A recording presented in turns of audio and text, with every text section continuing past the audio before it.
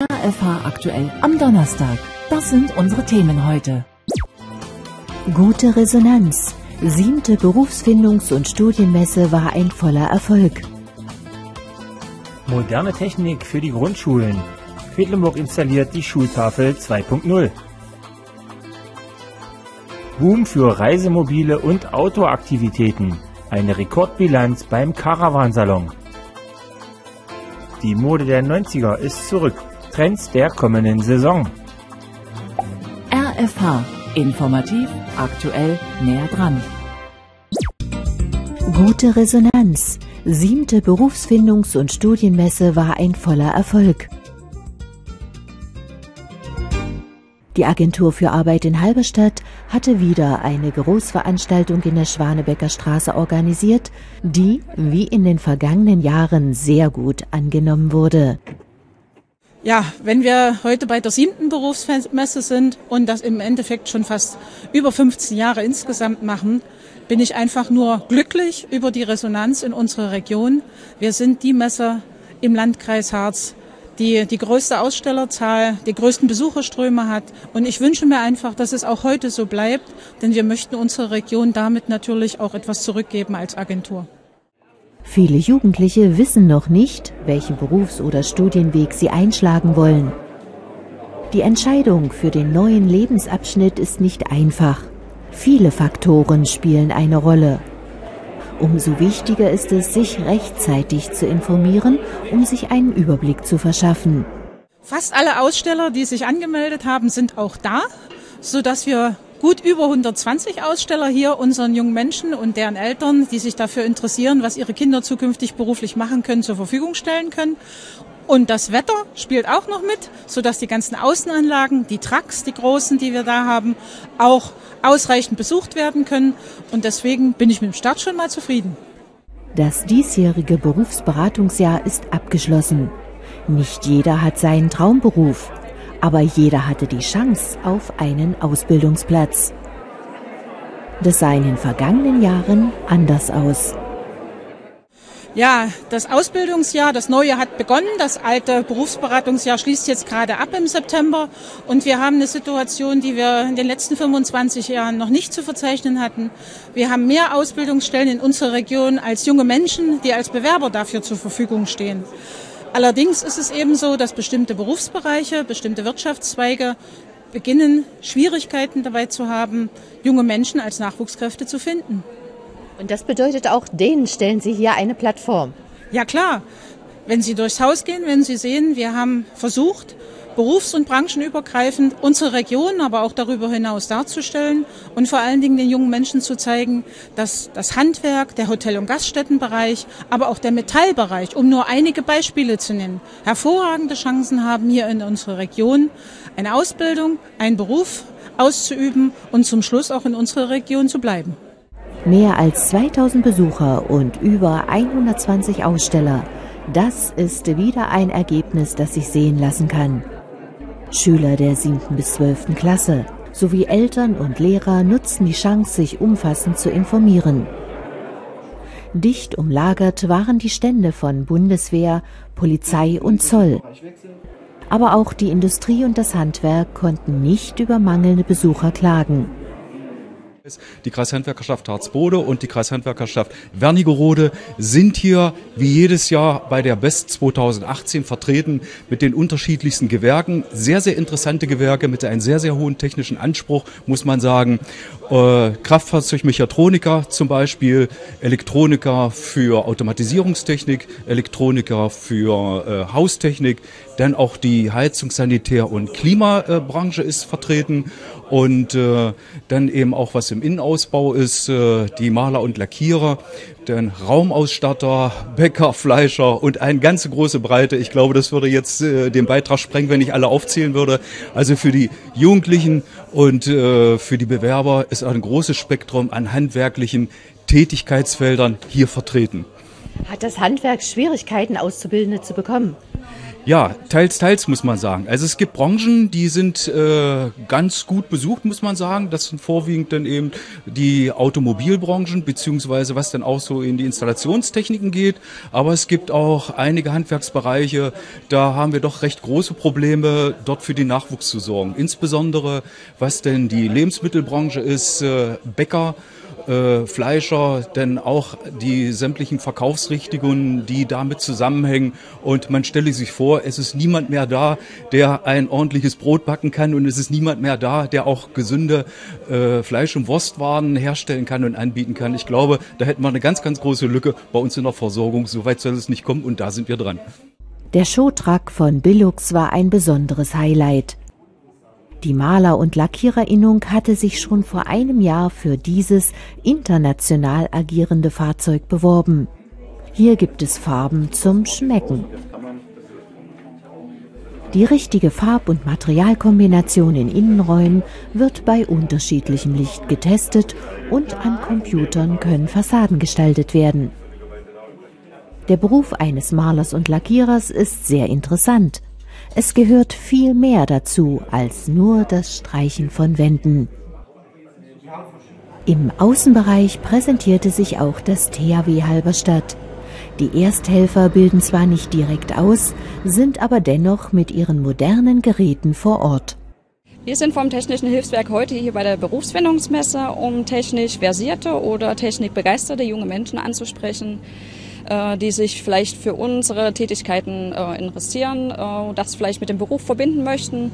Und die möchten wir heute hier direkt ansprechen und sozusagen für neue Helfer werben. Wir haben natürlich schon sehr spezielle Technik bei uns, große Technik, schwere Technik.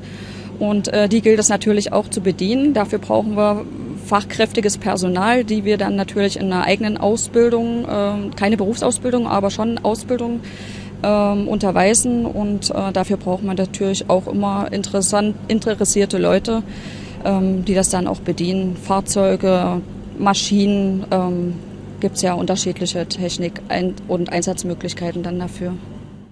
Ganz stolz sind die Mitglieder des Ortsverbandes Halberstadt auf ihren brandneuen Teleskoplader, der an dem Tag zum ersten Mal in der Öffentlichkeit zum Einsatz kam. Ja, also Gerät ist Daichi Icarus 4014, 13 Meter ausfahrbar, 10,7 Tonnen schwer. Voraus, also gute Sachen ist jetzt der Personenkorb oder Arbeitskorb auf 4 Meter ausfahrbar, 180 Grad schwenkbar. Die Präsentation hat sich auch für das THW gelohnt. Zwei neue Helfer konnten an diesem Tag angeworben werden. Bei der traditionellen Ausbildungs- und Studienmesse der Agentur für Arbeit wurde wieder einmal deutlich, dass alle Jugendliche große Ausbildungschancen in der Harzregion haben und dass die kostenfreien Beratungs- und Informationsangebote auch von ihnen sehr gern angenommen werden.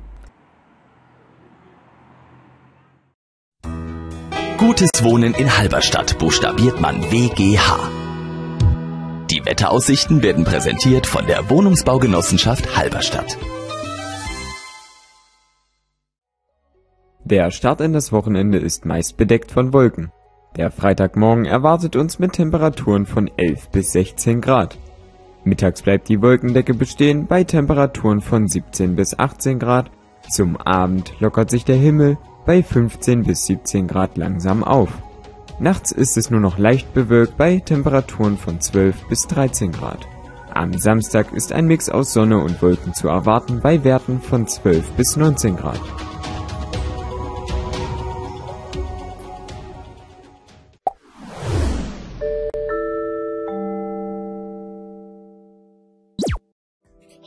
Jetzt noch größer, noch schöner, noch besser. Monsator in Wernigerode, Ihr Spezialist für Küchen- und Haushaltsgeräte in der Minzlebener Straße. Profitieren Sie von kompetenter Beratung, Verkauf und Küchenmontage aus einer Hand. Entdecken Sie außerdem die Hausgerätevielfalt bei Monsator. Mit aktuellen Geräten von Miele, Siemens, Bosch, Gaggenau, AEG und vielen weiteren Herstellern. Nutzen Sie auch den professionellen Haushaltsgeräte-Reparaturservice für Waschmaschine, Kaffeevollautomat und Co. Monsator, Ihr Hausgeräte- und Küchenspezialist in Wernigerode, Minzlebener Straße 43. EP Mediapark Schubinski. Mein Service macht den Unterschied. Sparen Sie jetzt mit den Angeboten aus der Vielzahl von Technik und Zubehör und fragen Sie auch nach den aktuellen Finanzierungskonditionen mit 0% Sollzinsen. Zum Beispiel für das MacBook Air für 899 Euro oder das 15 Zoll HP Notebook für 379 Euro. Oder wie wär's mit einem HP All-in-One Multifunktionsdrucker in der Aktionswoche für 59,99 Euro? Lassen Sie sich zu diesen und weiteren Angeboten und Produkten gern persönlich beraten. Natürlich im EP Mediapark Schubinski in Quedlinburg. Yippie, yippie, yippie! Und wieder ein zufriedener Möbelmüller-Kunde. Möbelmüller in Thale bringt tolle Möbel und Küchen. Qualität, an der Sie lange Freude haben. Die Möbel von Müller. Möbel Müller in Thale. Das erste Einrichtungshaus in Sachsen-Anhalt mit TÜV geprüfter Servicequalität. AOK-Versicherte haben's besser und zahlen auch 2018 nur 14,9 Prozent.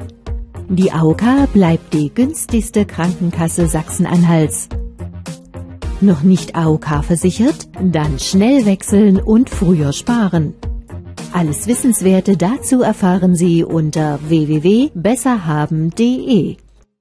Seine Leidenschaft ist das Wandern. Doch das wurde für Josef Bader immer beschwerlicher. Vor zehn Jahren wurde bei ihm Arthrose im Knie festgestellt. Vor zwei Jahren konnte er kaum noch gehen. Die Schmerzen im Knie, die waren so stark, dass ich weder radeln konnte, ich konnte nicht Treppen steigen. Josef Bader hat es geschafft. Sein Knie kann er wieder schmerzfrei bewegen.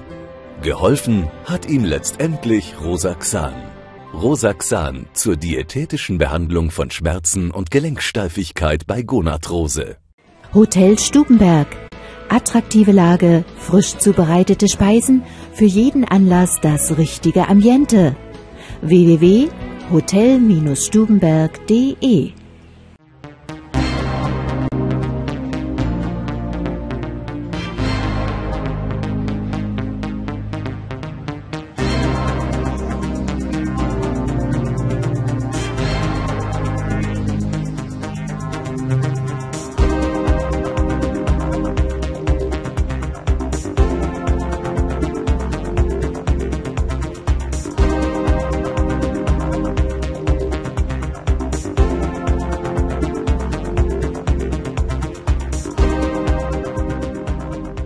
Halberstadt und entdeckt unsere Schätze.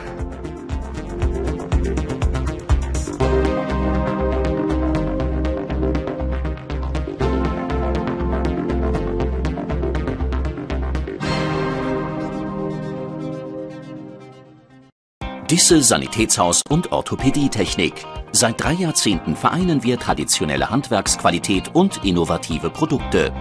Unser Sanitätshaus bietet ein überdurchschnittliches Angebot mit kompetenter Beratung und Unterweisung. Von Pflegehilfsmitteln über Gesundheitsprodukte bis zur Berufskleidung sind bei uns viele Produkte sofort verfügbar. Unser Spezialgebiet ist das Orthopädie-Handwerk. Für jede Anforderung fertigen wir das passende Produkt. Zeitnah und in höchster Qualität. Dafür setzen wir in der Fertigung auf Hightech-Materialien wie Carbon. Besonders bei Carbonprodukten profitieren unsere Kunden vom geringen Gewicht und stärkster Belastbarkeit. Wir kümmern uns auch um die individuelle Kostenerstattung bei den Krankenkassen. Ob Wartung und Reparaturen in unserer Werkstatt oder der Lieferservice und Hausbesuche mit unserem eigenen Fuhrpark. Wir sind für unsere Kunden da. Disse Sanitätshaus und Orthopädietechnik. Für Sie nur das Beste. Moderne Technik für die Grundschulen. Quedlinburg installiert die Schultafel 2.0.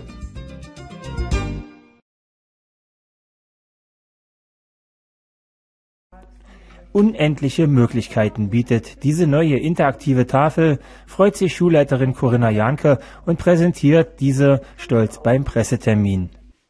Den Einsatz im Unterricht können wir leider aufgrund der neuen Datenschutzgrundverordnung noch nicht mit der Kamera begleiten. So können wir nur im Interview erfahren, welche Erwartungen die Neustädter Grundschule an diese neue Technik hat. Moderne Technik hat Einzug gehalten. Welche Möglichkeiten ergeben sich denn für die Grundschule auf Basis von Internetanbindung und Whiteboard?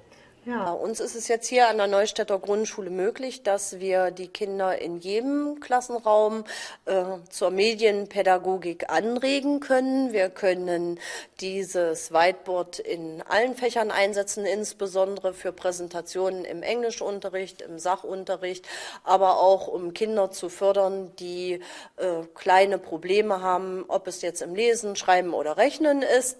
Äh, wir nutzen die Whiteboard-Tafel aber auch im außerschulischen Bereich, wenn wir Konferenzen planen oder mit dem Schulelternrat oder dem Förderverein arbeiten.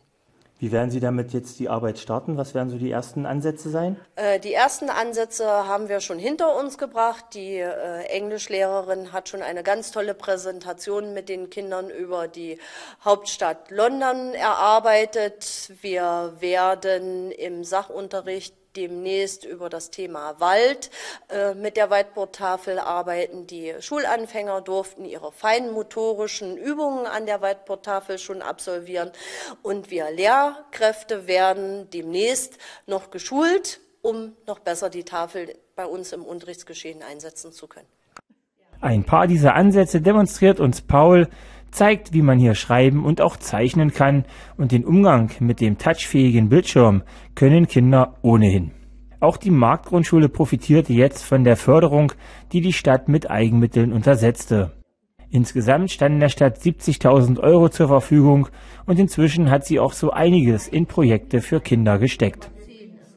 Das liegt immer im Interesse, sage ich mal, unserer äh, statt, dass wir die Schulen mit der neuesten Technik ausstatten und auch äh, unsere Schulen in einen qualitativen Zustand, guten Zustand halten.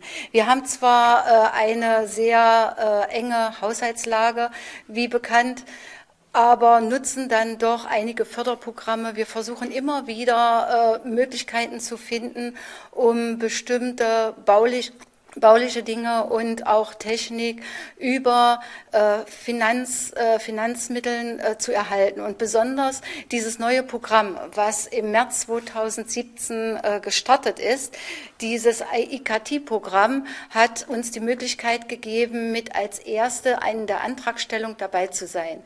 Wir haben mit einem äh, Gesamtvolumen für zwei Schulen, Marktschule und auch die Neustädter Schule, in Höhe von rund 70.000 Euro Anträge äh, abgeben können und waren in der glücklichen Lage, durch eine gute Arbeit mit den Schulleitern zusammen im November 17 dann äh, diesen Bewilligungsbescheid zu erhalten. So konnten wir also nicht nur das Datennetz in beiden Schulen ausbauen, sondern wir konnten auch zwei, jeweils in jeder Schule eine interaktive Tafel, die wir hier im Hintergrund sehen, anschaffen. In den nächsten Wochen soll die neue Tafel möglichst vielfältig genutzt werden und die Lehrer sind sehr interessiert, die neue Technik einzusetzen und werden sich dazu auch entsprechend weiterbilden. Bei mir im Kollegium sind alle Lehrer sehr erfreut, dass wir jetzt dieses neue Medium einsetzen dürfen und können. Die Kinder sind natürlich noch erfreuter, weil man weiß ja, Kinder und Medien vor allen Dingen Dinge, die an einen Laptop erinnern. Das steigert die Schulfreude.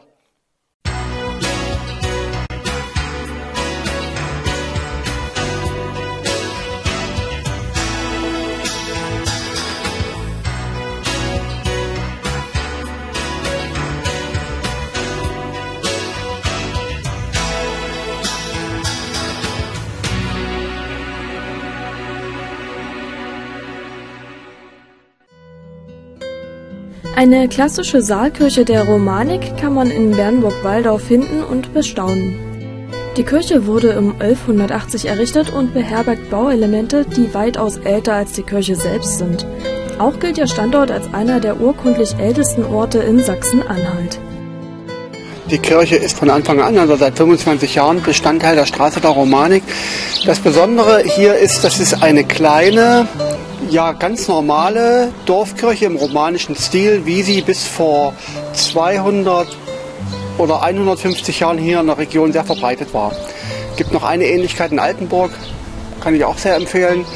Ansonsten sind viele dieser romanischen Kirchen abgerissen worden vor allen Dingen im 19. Jahrhundert. Es hat verschiedene Hintergründe, ist natürlich bedauerlich, aber andererseits die Geschichte läuft, wie sie läuft und richtet sich eben immer nach dem Zeitgeist. Diese Kirche hat hier etwa na, so 50, 70 Jahre lang, gerade zu dieser Zeit, das abgerissen wurde, in Dornröschenschlaf gehabt. Die, diese, dieser Schäferbergbau, wie Aufzeichnungen sagen, überwachsen, überwuchert. Das hatte vor allen Dingen was damit zu tun, dass die Eisenbahnlinie eröffnet wurde. Dadurch war die Kirche abgeschnitten vom Dorf. Vorher gab es hier einen zentralen Zugang. Und dass dort, man sieht sie von hier aus, eine neue Kirche entstanden ist, die sich die Gemeinde geleistet hat. Die jüngste Kirche Bernburgs, die sogenannte Neue Waldauer Kirche, die nur ausgerechnet auch ja, am, am frühesten wieder geschlossen wurde, einfach weil es eine Überkapazität war. Und die Gemeinde und ich auch froh ist, dass wir diese kleine, sehr stilvolle, für den heutigen Zeitgeist eben wirklich was Besonderes äh, haben und nutzen. Waldau ist doch gar nicht so lange Bestandteil von Bernburg. Ich glaube 1888 oder 1887 wurde Waldau erst eingemeindet. Das war ein Dorf mit einer, mit einer Kirche natürlich, wie viele Kirchen, an einem besonderen Ort erbaut, auf dem Stephansberg. Ein schöner, besonderer Ort und für die damaligen Verhältnisse von der Größe her angemessen und ausreichend. Das ist eine interessante Geschichte, über die man viel erzählen könnte, hat viele Umbauten erlebt, die Kirche war über ähm, Jahrhunderte weg, so nach dem Zeitgeist. Das, ich glaube, ein Umbau, der aus dem 16. Jahrhundert stammt, da sind die Fenster vergrößert worden, der Raum wurde heller und lichter, wie man das mochte. Äh, und dann ist sie, ja, Ende des 18. Jahrhunderts ist das wieder rückgebaut worden und die Kirche wurde in ihren ursprünglichen Zustand wieder zurückversetzt. Und ja, wir tun das bis heute. Das heißt, wir erhalten den Zustand, von dem wir meinen, dass er ursprünglich mal gemeint worden war. Schon äußerlich hier äh, sehr schön zu sehen. Äh, zwei dorische Säulen mit unterschiedlichen Kapitellen. Das ist ein klarer Hinweis, wie manches andere auch, dass die Kirche einen Vorgängerbau hatte, der abgerissen wurde und bestimmte Teile wurden wieder verwendet. Das war ganz üblich. Und ganz besonders interessant hier das halbe Männchen. Also das ist die Hälfte eines steinernen Reliefs. Abgebildet worden ist ein römischer Legionär. Äh, vielleicht eine Darstellung der Kreuzigung Jesu. Äh, drinnen gibt es noch Ritzzeichnungen äh, am, äh, äh, an der Schlusswand hin zum Turm auf dieser Seite und alles aus Erbauungszeiten, das heißt gut 800 Jahre alt. Zum Vorgängerbau der Kirche ist leider nicht viel bekannt. Urkundlich wurde 964 über eine ähnliche Kirche auf dem Stephansberg berichtet. Nun pflegt die evangelische Talstadtgemeinde Bernburg das Anwesen und kann auch in diesem Jahr in den Sommermonaten eine täglich geöffnete Kirche präsentieren.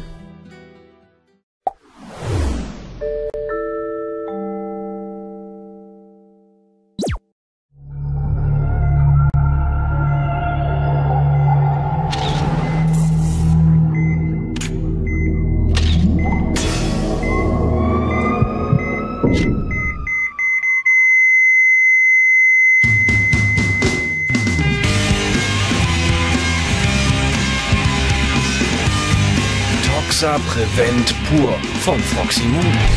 Denn Vorbeugen ist die bessere Medizin. Sie suchen eine neue Herausforderung und finden einfach nichts Passendes? Dann hat die Agentur für Arbeit sicher auch für Sie genau das Richtige.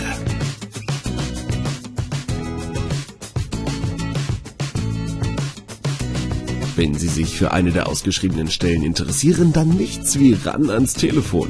Alle Angebote im Überblick finden Sie auch im RAV Teletext ab Seite 301.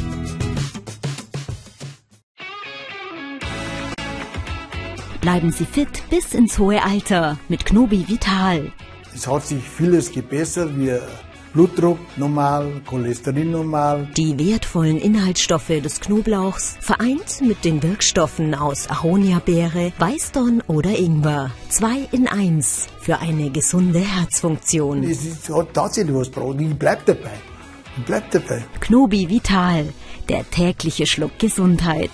Erhältlich in allen Apotheken und Reformhäusern. 2019 wird das Bauhaus 100 Jahre alt. Das Bauhaus gilt als eines der wichtigsten Errungenschaften des 20. Jahrhunderts und als einer der wichtigsten deutschen Exportschlager. Am Bauhaus Dessau, das weltweit als Ikone der Moderne gilt, wurde das bedeutendste Stück dieser Geschichte geschrieben, die bis heute nachwirkt. Entdecken Sie das kulturelle Erbe der heute noch existierenden architektonischen Zeugnisse dieses Aufbruchs. In Sachsen-Anhalt gibt es so viele original erhaltene Bauhausgebäude und Städten der Moderne wie nirgendwo sonst. In Dessau-Rosslau, Halle, Magdeburg, Leuna, Quedlinburg und zahlreichen anderen Orten können Meilensteine besichtigt werden. Die Jahresausstellung im Bauhaus Dessau über Karl Fieger gibt passende Hintergrundinformationen. www.bauhaus-entdecken.de Sachsen-Anhalt. Hier macht das Bauhaus Schule. Gehen Sie auf Zeitreise in Thale. Das DDR-Museum zeigt 40 Jahre DDR-Geschichte. Möbel, Technik, Bücher und Einrichtungsgegenstände, mit denen viele Erinnerungen verbunden sind. Das einzigartige DDR-Museum bei Möbel Müller in Thale ist montags bis samstags für Sie geöffnet. Ein toller Tipp für die ganze Familie. Die Mode der 90er ist zurück. Trends der kommenden Saison. Die 90er sind zurück. Zumindest wenn es um die Mode des kommenden Jahres geht. Übergrößen in mehreren Lagen, weiche Formen und Materialien, die sich gut anfühlen. Lange Hosen, weite Kleider, die Stoffe fallen leicht und locker. Denn bequem soll es sein und Spaß soll es machen. Kräftige Farben strahlen Selbstbewusstsein aus. Neben lila und Rottönen sticht eine besonders heraus. Wo wir in den letzten Saisons von äh, Millennial Pink gesprochen haben, haben wir jetzt Generation Z Yellow. Man könnte sagen, das wird die Farbe der Saison nächsten Sommer. Eigentlich hatten wir sie auch schon die letzten beiden Saisons sehr, sehr stark. Allerdings wird Gelb immer wichtiger und immer größer und immer stärker. Hier auf der CPM in Moskau trifft sich eine internationale Branche, für die der russische Markt zunehmend an Bedeutung gewinnt. Die Einwohner der Föderation werden immer modebewusster und öffnen sich zunehmend westlichen Einflüssen. Sicher auch ein Grund, warum europäische Länder wie Frankreich verstärkt Geschäftsbeziehungen in das Land suchen. Man kennt Frankreich eigentlich als Modemetropole. Wir haben eine eigene französische Modenschau während der CPM jeden Tag laufen. Frankreich hat das erste Mal tatsächlich viel, viel Geld in die Hand genommen, um das Image Frankreich und sprich Mode von Frankreich hier in Moskau zu präsentieren. Und das kommt, glaube ich, sehr, sehr gut an. Und so wird ab dem kommenden Frühjahr eine Art romantischer Retro-Stil Einzug halten in die Modewelt. Zunehmend auch in der russischen. Boom für Reisemobile und Outdoor-Aktivitäten. Eine Rekordbilanz beim Caravansalon. Das Traumtourenkino auf dem Caravansalon. Nicht weniger als ganze Lebensträume werden hier angeboten und mitverkauft. Endlich das Traummobil vor der Tür, einsteigen und losfahren. Dahin, wo gefühlt noch niemand war. Oder dahin, wo ich in der Natur Gleichgesinnte und Freunde treffe. All das ist in den großen und kleinen Staufächern der Mobile mit dabei. Versprechen, die immer mehr Anklang finden in Europa. Auf die Messe kam eine Viertelmillion Besucher. Individualität, äh, Freiheit, Unabhängigkeit, ähm, das ist in viel breiteren Schichten der Gesellschaft mittlerweile attraktiv geworden und deshalb kommen immer mehr Leute zum Caravansalon, schauen sich hier um und kaufen auch direkt Reisemobile und Caravans. 71.000 Euro geben deutsche Käufer durchschnittlich für ein Wohnmobil aus. Die kompakten Kastenwagen sind dabei die beliebteste Variante, weil alltagstauglich, wenn mal kein Urlaub ist und im Urlaub doch voll ausgestattet. Also ein Fahrzeug, das liegt um die 7 Meter, 7,50 Meter, ist ein sogenannter Kastenwagen, das heißt als Ursprungsfahrzeug erkennbar, aber darin ist natürlich auch die Sanitärräume enthalten, eine Küche enthalten, Sitzgruppe, gute Betten, all das sind Faktoren, die sind wichtig für die Käufer. Parallel zum letzten Wochenende des Caravansalons hat auch die Tour Natur Besucher gelockt. 42.000 Naturliebhaber suchten das nächste Outdoor-Ferienziel und die nötige Ausrüstung. Ein Markt, der stetig wächst. Für 2025 prognostiziert das Statistische Bundesamt einen Gesamtumsatz von 2,5 Milliarden Euro. Schon heute setzen Jack Ruskin und etwa Globetrotter pro Jahr dreistellige Millionenbeträge um. Das Halberstädter Küchenstudio mit dem besonderen Service. Individuelle Beratung, professionelle Planung, zuverlässige Montage. Ihr Küchentraum wird Wirklichkeit. Das Küchenstudio Spiegelstraße präsentiert Ihnen die Veranstaltungstipps. Macht euch bereit für eine dreitägige Riesenparty in Hasleben. Vom 21. bis 23. September lädt die örtliche Kultur